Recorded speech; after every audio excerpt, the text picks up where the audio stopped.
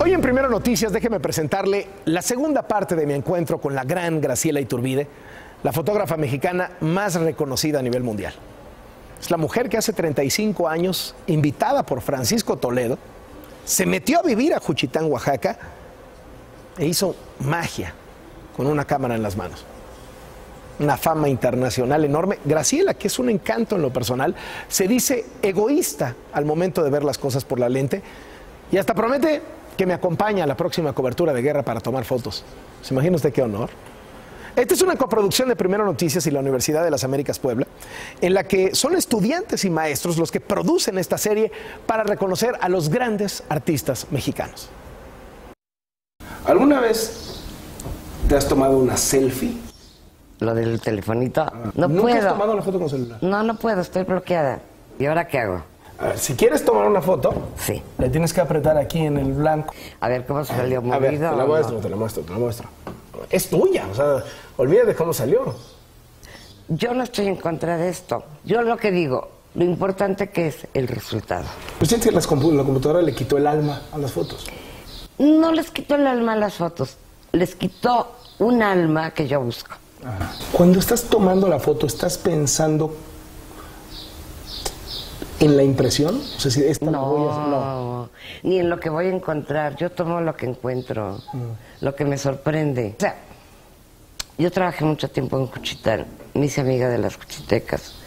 Toledo me invitó, yo dormía en sus casas, vivía en sus casas y salía con ellas, pero yo solamente tomaba lo que me sorprendía.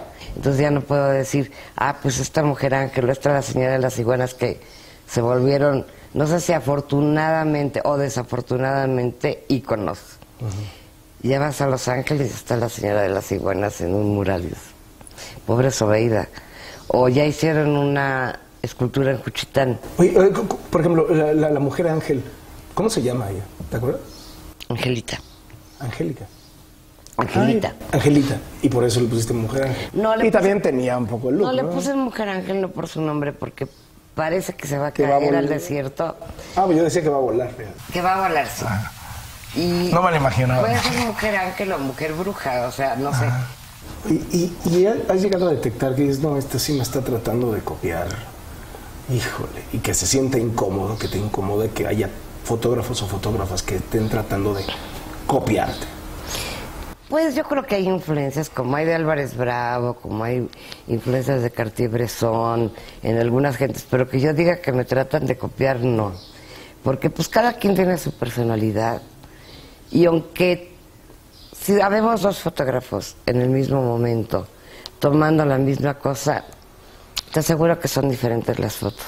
Eso leí que habías dicho alguna vez y la verdad me quedé pensando, dije, ¿qué tanto? O sea, ¿qué tanto si están los dos fotógrafos en el mismo lugar frente a la misma escena? Y pues están ahí porque son cuates y son conocidos y tienen un contexto igual. ¿Qué tanto no se van a parecer muchísimo sus fotos? Y un día estaba con una fotógrafa, Cecilia Portal, en una filmación que estaba haciendo Juan Ibáñez. Y era en la cárcel de Lecumberri. Y había una extra que hacía de prostituta, pero que estaba parte de la película.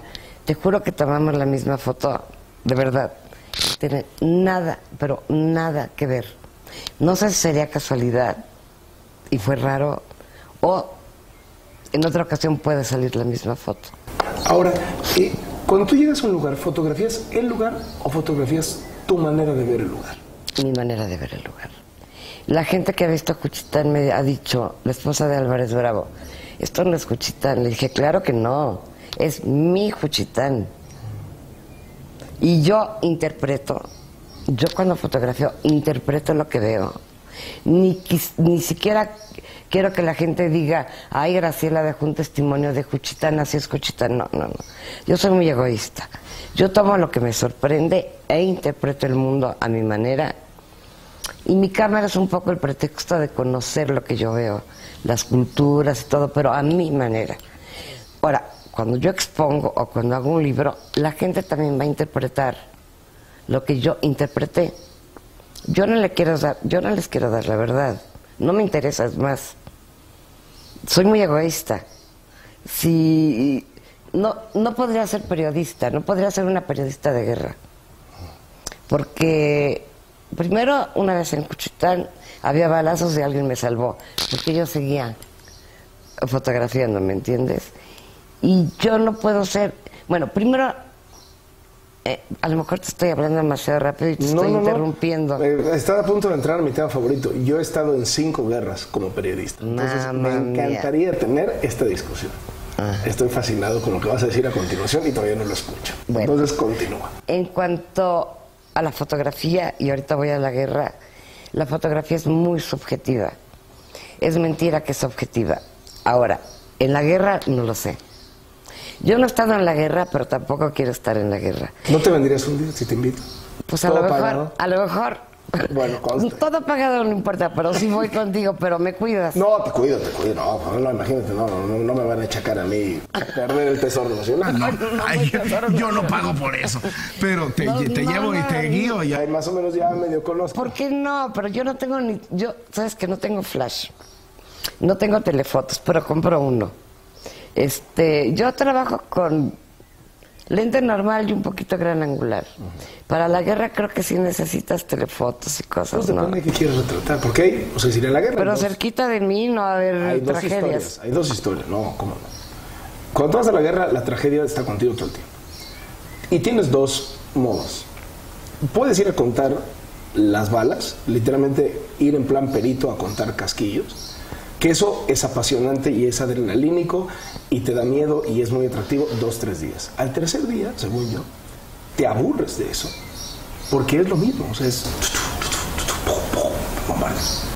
Y lo que es fascinante es ir a los pueblos en donde la guerra bien apenas va a llegar o donde acaba de pasar. Yo quiero eso. eso es lo que me Que es igual de peligroso, ¿eh? Sí, no, pero eso no me importa tanto. Es increíble. No me importa tanto porque yo he estado en lugares peligrosos, pero pero no sé cuidarme de las balas y de esas No, eso yo te cuido. Te pongo un chaleco contigo. Eso no te